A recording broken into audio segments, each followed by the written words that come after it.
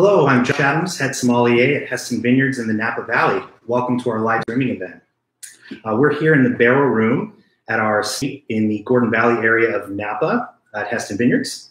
Hestan Vineyards is owned by Helen and Stanley Cheng, whose primary business is owning and operating a cookware manufacturing business. But their love of wine in the Napa Valley led them to purchase this property in 1996 so that they could grow their own grapes and make their own wine label, Hestan Vineyards, which is actually named after our owners, uh, combining their first names, Helen and Stanley, to create the Hestan name brand. Here at Hestan Vineyards, the majority of our grapevines are Cabernet Sauvignon, planted on volcanic clay loam soils, but we do have a variety of other grapes grown here as well, including Malbec, which is what we'll be featuring today.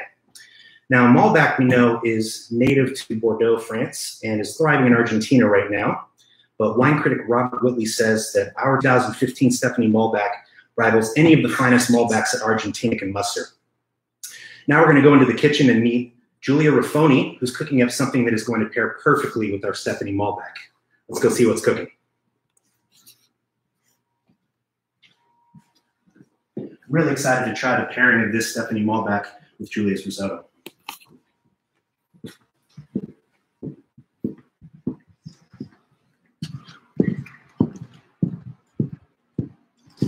Earthiness of this Stephanie Malbec and the risotto earthiness are going to pair really well together.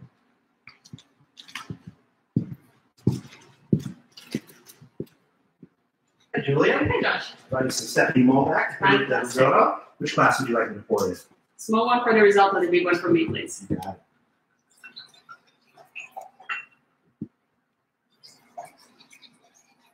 Thank you very much. You're welcome. Benvenuti. Welcome, everyone. My name is Giulia Ruffoni. I am the fourth generation Ruffoni family member um, to make these copper pots. And today I'm going to make a family recipe of radicchio risotto paired with um, Hestan Stephanie Malbec. So we're going to start by looking what ingredients we have. We have our risotto rice. This is carnaroli, which you have in the ingredients list on the recipe. You can use arborio, you can use Vialone Nano, any kind of risotto rice will do. We have our veg, of course. So we have uh, our red radicchio, which is a wonderful vegetable that's very popular in Italy in different shapes and forms, but it's started to come up quite often in uh, the US as well. If you can't find that, you can use endives, you can use sorrel, any other kind of um, leafy, sturdy, slightly bitter vegetable. We have shallots. Again, yellow onions, um, white onions will also work. Our grated Parmigiano Reggiano, I obviously Stephanie Malbec, um, olive oil, and then I'm just gonna get out of my fridge the bacon and the butter that were also on the list of ingredients. And the butter in particular, I'm keeping in the fridge because um, we want it to stay cool, and we'll talk later about why. So the last thing I have is my beef stock. Uh, you can use chicken if you prefer, or if you're making this recipe vegetarian, obviously vegetarian uh, stock is fine as well. I have it in my pot, and I'm going to turn that on. There we go. So that it starts heating up for when we need it. And having done that, I'll start chopping my vegetables. So my first one is going to be the shallot. I haven't done the prep beforehand, so that hopefully you got the ingredients and you're cooking along with me. Um, if not, obviously make sure to subscribe to the channel and save the recipe so you can come back to it later. And if you have any questions at any point, please do interrupt, you know, send them in. Uh, I'd love to chat with all of you. So I'm peeling my shallot and I'm going to slice this quite fine. The reason for this is that we don't really want to find big chunks um, that are oniony inside the risotto. We're just gonna want a very sweet, mellow flavor running through it. So, you know, do the best you can, but fairly fine would be preferable. The other thing we're gonna do to make sure that we don't have a lot of chunks of onion or shallot in there is going to be to use a slow, gentle flame. And it's not gonna take that much longer, but it will be worth it. So I hope you can see it from over there, but maybe I'll lift up the board in just a second to show you. This is the how fine the shallot is. So we're gonna set that aside. Clean up my workstation. Don't wanna be messy. And the next thing we're going to prepare is the radicchio. So I gave the rest of the ingredients for um, two people. That's what I'm going to be making. So half a head really is sufficient. But obviously, if you're cooking for four people, you're doubling the recipe, you're going to use the whole thing. These vegetable, if you've had it home for a few days, you might have a bit of discoloration or wilting on the outside leaves. That doesn't mean it's gone bad. Just peel off one or two leaves and it's perfectly fine. That's something I like about these kind of sturdy, more winter vegetables that will really last a long time. I am chopping this much more roughly. Um, it will wilt in the pan, so it's it really doesn't have to be a precise cut. Just want pieces that are not too huge running through. And that is perfect. That's all the radicchio I need. We go. And now my last bit is the bacon. Now, obviously, bacon is not in its, you know, in its American form part of the more traditional Italian recipe, but that doesn't matter. You know, we cook seasonally and we cook whatever ingredients are locally available. And so, you know, if I were in Italy, I would use pancetta, maybe guanciale, which is um, a wonderful piece uh, that's the traditional ingredient in carbonara. But the American bacon has a nice smokiness and it's what's easier to find here, so I'm going to be using that. I'm making fairly large chunks of this one because I do like finding a little bit of that smoky meatiness um, as little surprises for the risotto, but um, that's really up to your personal preference. So I'm almost done chopping this, which I know takes a little bit of time, but really this is the longest it's to take for prepping the risotto. People think the risotto takes forever to make, that you have to stir it for hours. You'll see it's much faster and easier than people fear. I'm gonna wash the meaty head, and we're gonna start with our soffritto. Now, what I'll start with is a tablespoon or two of olive oil and a few pieces of butter in my pan, which you notice is still cold. Copper will heat up very quickly, so there's no need to preheat it. Never preheat uh, copper We'll turn on a gentle flame, not too medium heat. And our butter is going to start melting very quickly. I can see it melting already. Now, in this case, I don't even need, you know, many times when you're doing this, you're waiting for the butter to foam and to have melted completely, maybe even brown slightly. We don't need that here. Uh, with soffritto, we're really kind of under frying. We're not trying to get your shallot to be crunchy. You're wanting to get very soft and melted. And so my butter is almost melted. It's a great time to go in with shallot. This is forming the base of our flavor here. So it is taking a couple of minutes that are really going to pay off at the end the result. At this stage, um, again, as I said, you're really keeping the flame low, you're keeping, you're having the shallot onions very fine, and you're trying to soften it and make it go translucent without um, crisping it up. One trick that um, some chefs use when they're short in time is to add, uh, that one's really strong, is to add a little bit of salt to your onions or shallots. And what that does is it draws out the moisture so that um, it cooks faster. But you do risk it going a little bit too crunchy. So I would say if you do that, really keep a close eye on it. Make sure it's not going too dry. Now this is softening, and I wish you could smell it. I hope you're cooking along and you are smelling it because it's really delicious. There's a few things like butter and onions. And I keep calling this onion because typically onion is the, the base, the most common base for risotto in this case, but shallot, white bread, yellow onion, um, even um, leeks will all make a great um, flavor base. So this is perfect where I want it. I'm going to add my rice. Now for two people, you're adding about one cup of rice, obviously depending on how much you eat and how much you like it. Um, in my family, we've never measured rice in cups or even weight. We just go by the handful. And so um, it's going to be one and two handfuls for one person, and then one and two handfuls for the second person, and cooking is for two people. And we always add one for the pot. I don't know why, we never scale it. It's always one for the pot. And somehow it always works out right. At least that's how I learned the recipe. So what we're doing at this stage is that we are toasting the rice. And that sounds like the stock is definitely coming up to temperature. Between the stove, and a very conductive cooker. It's getting really fast. Now, what I'm doing right now is I'm toasting the rice. Um, this is a very important step. It only takes one or two minutes, but what it does is two things. One is that the rice will get a bit nutty in flavor, and that flavor will carry through into the final risotto. The other thing is that we're sealing the rice a little bit. We'll notice that I've not rinsed my rice, and that's really important. Risotto is creamy not because we add a ton of fat and butter. We use some butter, obviously, but it's mostly because we um, use the starch that's naturally present in the rice and release that throughout the cooking. And so if, um, but we don't want to have too much of it either. And so that's why the toasting at the beginning allows us to seal the, um, the grain a little bit and just get it right.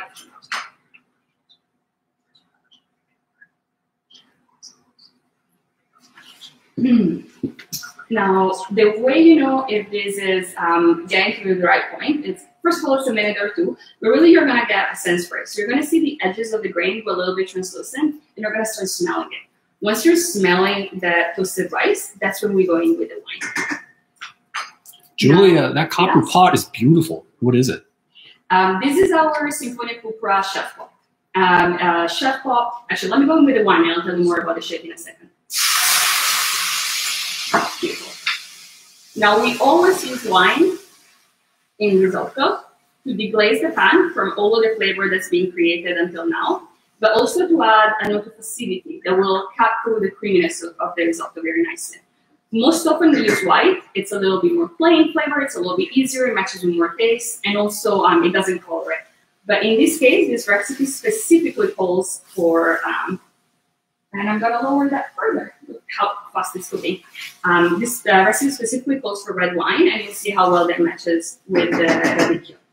Now, I'm the wine has the alcohol is evaporated. We still have flavor. We still have the color, but the alcohol is no longer there, and you can smell that it's not coming off anymore. So I can start adding my stock. Now my stock will go in one or two ladlefuls at a time.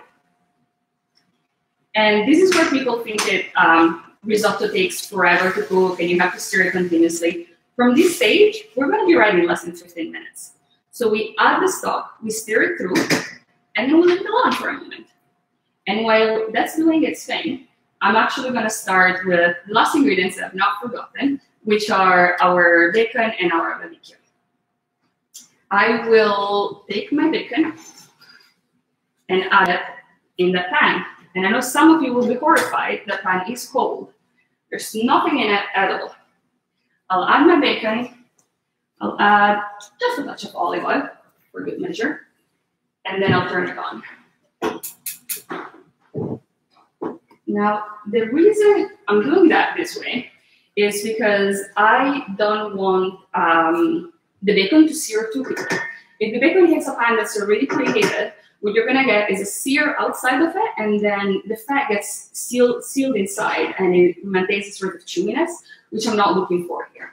And so by putting in a cold pan and warming it up more slowly, I'm gonna get the fat to naturally reduce and render, and I'm only gonna have it um, nice and crispy. And yes, I think you were asking about the pan. So this is a chef pan. The reason for using a chef, so chef pan is also known as essential pan, and I think it's definitely one of your most useful instruments in the kitchen. I make tomato sauce in it. I saute vegetables in it. I start by braising meat and then, um, sorry, searing meat and then braising it slowly, and it's unbeatable for risotto. And what's so good about it is that it's kind of medium height, so you can add liquid. Um, you can do more than you would do in just a fry pan. Look at that. Our bacon is already starting to sizzle. Uh, you can do more than you would do in just a fry pan, but at the same time, it's not that tall, so and it has this kind of rounded size, so it allows the liquid to evaporate quickly. Now, I will stir my bacon through and let it render just a little bit more. You'll notice here, I'm not stirring continuously. I'm adding a little of stock, I'm giving it a stir, and then I'll let it do its thing. If you have any other questions, please do let me know. Send them in the in the messages. Um, we're very happy to answer anything that you've got.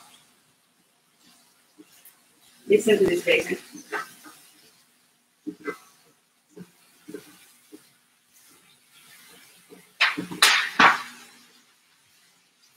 That guy is almost ready. I can smell the, the smokiness of it. The sizzling is beautiful. The fat is rendering. And so I'm almost ready to add my radicchio in. And I don't have to use a separate pan because start the bacon in here at the beginning with the onion and you could add the radicchio directly into the risotto. But what this allows me to do is control the way it's cooked very well. And I don't want the, the leaves to wilt too much and go very soft. I want them to retain a little bit of the bite. So this allows me to do just that. And so I'm stirring them through. I have to say, the stove is fantastic and it's very powerful. Especially when you're cooking with copper, you really have to dial down the heat that you normally be using.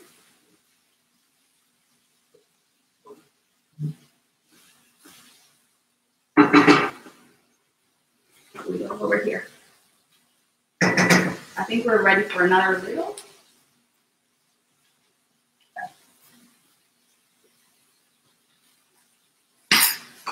And now we keep going. We're going to be doing this for another, like, maybe eight or nine minutes. We'll taste it and we'll check.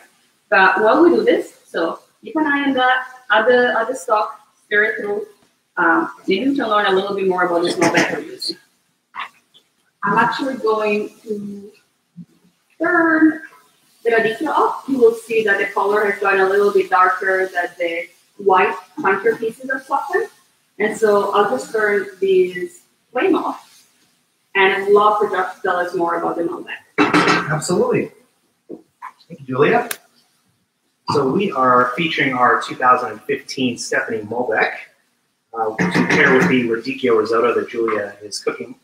Uh, this Stephanie Malbec is made from grapes grown right here at Hestan Vineyards. And our Stephanie wines are all named after Helen and Stanley's daughter, Stephanie, who is the youngest of three children and a very talented harpist. So you will see a golden harp on every single one of Stephanie's bottles. Uh, this Stephanie Malbec and all of our Stephanie wines are made by winemaker Jeff Gaffner, who's been working with us since 2005. This, this Malbec here is aged for 28 months in French oak barrels, and we produced only 400 cases of this Stephanie Malbec in 2015. Uh, now we're going to try the wine if you want to try it along with me. In smelling this wine, this is going to have some beautiful aromas of violet, beautiful bouquet. Very floral. And in tasting the wine, I get some very bright fruit, some ripe blackberries, really bright, fresh blueberries. And it has a super soft finish to it as well. Very soft, smooth tannins but it does have some nice earthiness to it, which is why we're pairing it with Giulia's radicchio risotto today. Giulia, how's it going? It's going very well. I tasted the wine when we were talking about it, and I wouldn't probably be able to describe it quite so thoroughly, but it does taste delicious. So I really hope you have a bottle of that at home as well. Um, I've had a chance to try a few of the Hestan wines, and they're they're spectacular. So I hope you're keeping an eye on your risotto. You should have been adding stock along the way, whisk it through, let it cook. And I think we're doing pretty well. It's only going to be a few more minutes. Our radicchio is ready here for us. And I think we might have more questions. Glenn? So, uh, Giulia, what type of rice are you using for risotto and why? Um, so, I mentioned this is a carnaroli. We can use arborio, we can use Vialone Nano. What we're not using is some of those long grain um, kind of like basmati rice. And the reason is we want something that's a little bit shorter and stubbier and that has more um, starch content. Because that's actually what we're using to build the risotto. It's gonna give us that creaminess together with the slow stirring motion and the very even, even heat conducting um, cooker. You can do this in, in other cooker, obviously, but um, risotto is really something where uh, a pot that is that's heat conductive will shine because it will make all of the grains cook at the same time. If you do this in something that is, you know, very a very bad barrier to heat, you're gonna have the rice burning at the bottom while it's still sitting raw at the top. And so you're gonna have to stir continuously to prevent that, which in turn will release too much starch and will make it go gluey. You, you know when you've made a risotto and the flavors are right, but the consistency is not there, it's it's like a, a glue Um, that's what's most likely has happened is that you've um, oversteered it and going too much uh, starch up.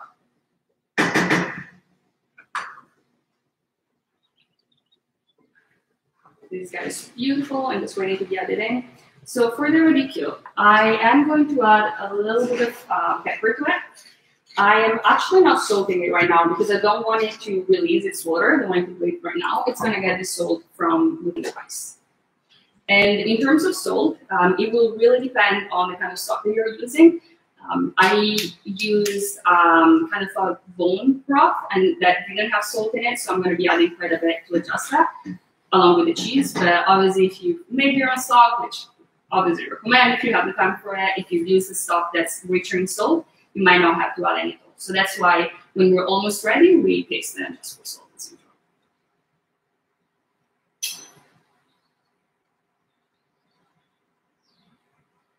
We're almost done, guys.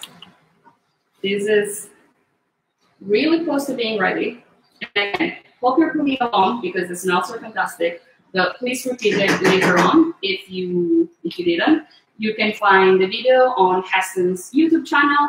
Um, do subscribe there. They're going to be sharing more content in the coming time for sure. And for Ruffoni, Instagram, Facebook, YouTube, um, and Pinterest, it's always Ruffoni official. So you'll find us in any platform of your preference.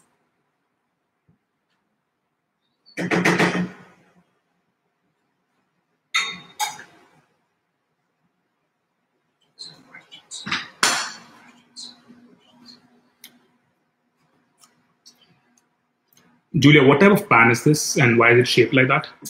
Um, so this is the chef pan, the essential pan, which has the rounded sides um, they go up. This specific one um, is called Symphonia Cupra, and it has stainless steel lining inside as well as this um, stainless steel handle, which you'll notice I'm holding with my bare hands. Obviously, always recommend use oven mitts, especially if you're going to be putting your cooker in the oven. But um, this is staying pretty, fairly cool at the end and it has our um, logo, you know, a little copper coin at the end. And that was my father's way of signing it as um, as he made it. Um, this has copper always has a lining inside. This one, as I mentioned, has stainless lining, which is it's an easier one for someone who's starting to cook in copper. Maybe they're not quite used to it. It's more forgiving. We Ruffoni is known for our tin lined copper, our historic collection, which obviously has a special place in my heart. But um, they're really good. So we have both of them as well as our flat stainless steel material on our new website, which is ruffoni.net. And actually, this might be a good time to say that if you didn't see that in the newsletter that went out from Hestan, if you're joining us some other way, we did have a promo code called um, Hestan31. We gave you 15% off our all of our cooker on our website. And it was going to end today, but I think we're going to be extending it a few more days because these really inspire you to, to make your own risotto at home. So just leaving that out there for you. So one more question, Giulia. About how many cups of stock did you use in this recipe? Um, I want to say this was three cups. Um, it's always a little bit looking at it and judging. You can, if you feel that you're running out when you're almost done, you can easily add a little bit of hot water. You've, as long as your stock was good, you've added a lot of flavor in there. That's not gonna mess with it. Um, it depends because of the size of the pan and how hot the heat is. In this case, I had, you know, some days almost spill over at the beginning. So I might be a little bit short in, in stock. But three to four cups should do it.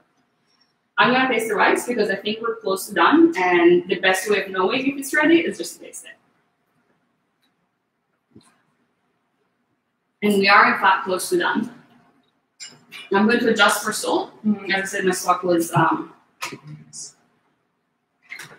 not salted, so it does need a fair bit more. Josh, we're getting some questions about the Hestan Vineyards Malbec and where people may be able to get it. Absolutely. You can purchase this 2015 Stephanie Malbec at our website, hestanvineyards.com, and any of our uh, Hestan, Stephanie Meyer, and Vincent Christopher wines.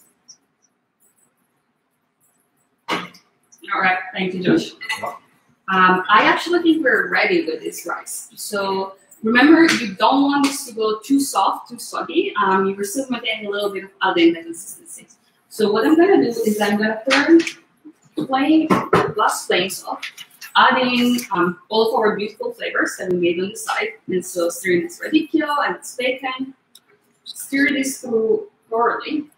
And then the last bit of magic is called mantecatura. So we have done the soffritto with the onion, we have toasted the rice, we've been cooking it through for about 30 minutes, maybe even less than that. And now we're going to add quite a bit of Parmigiano cheese and some cold butter. And it really helps if it's cold because it's um, going to emulsify better. So what we want is the cold of the fat with the, the water of the stock of the rice to emulsify with each other because that also helps for the creamy consistency. And so stir that through vigorously. And if you didn't have the last little bit of stock, um, make sure that there is enough water in there to actually do this emulsifying. Remember that it will continue cooking just for a tiny bit um, after we've turned off the flame. So make sure you're not having it dry up too much because that would be really. And I think we're ready to serve.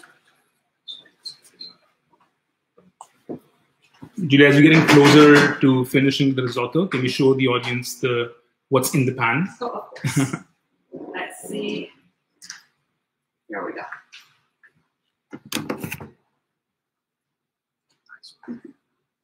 Let me get some in a plate um, and see I've been successful at this. So the consistency that we're going for with risotto is called all'onda, the wave. And the reason is you don't want this like super dense mass in the middle of the plate with just won't move. And you also don't want the soup with rice that just boiled inside it. Um, and you know it's pretty good if you put it in the middle of a flat plate and you bang out the bottom of it and it spreads out flat. And the reason you want it to spread out that way is so you have more surface going more Parmigiano. I think that's pretty good. I'm going to add a little bit of Parmigiano. You never have too much. Josh, would you like to taste this? Absolutely, I would love to. Thank you, Giulia.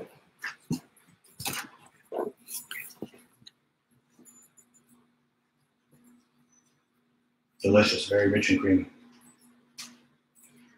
I know some people will have their doubts about pairing using a, such a good wine inside cooking, but I think you really get to experience some of, the, of its fruit and some of its aromas in a glass and on the plate. What do you think, Josh? It really is the perfect pairing, the small back in your risotto. So thank you. Fantastic. And if you're enjoying this live stream as much as I'm enjoying Giulia's risotto and this Hestan wine together, please subscribe to Hestan Vineyards on YouTube. So good. Cheers. Thanks, everyone. Presto.